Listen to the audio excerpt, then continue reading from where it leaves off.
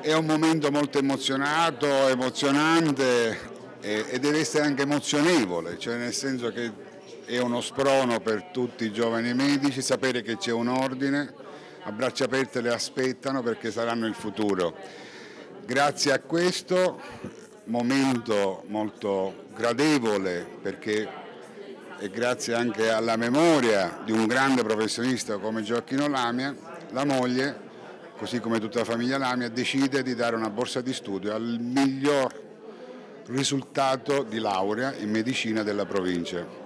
Quest'anno è andata la dottoressa Floriano Ferro che ha, dopo un'attenta valutazione dei titoli e della media ponderata è risultata essere la prima.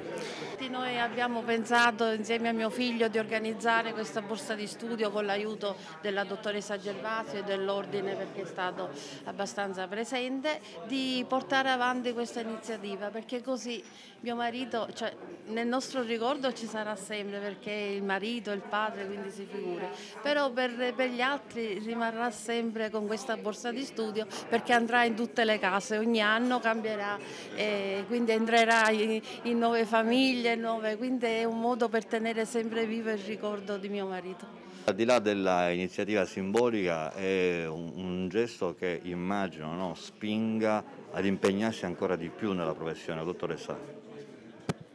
Concordo con quello che lei ha appena detto, questo per me rappresenta non un punto di arrivo ma anzi un punto di partenza per, per fare sempre di più, per impegnarsi sempre, sempre, di più. Io ho iniziato la specializzazione in neuropsichiatria infantile che è un altro ambito abbastanza importante soprattutto adesso con,